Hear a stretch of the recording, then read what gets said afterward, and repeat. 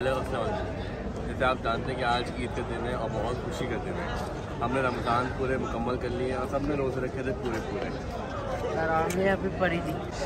बोलो बोलो रात भर से जाग रहे हो नाश्ता किया नहीं है भूख लग रही है फुल। ईदी ईदी का इतना इंतज़ार था नींद ही नहीं आई नींदें उड़ गई हैं ईदी के लिए। बस अभी ईदी चाहिए फिर सोएँगे फिर ईदी हाँ।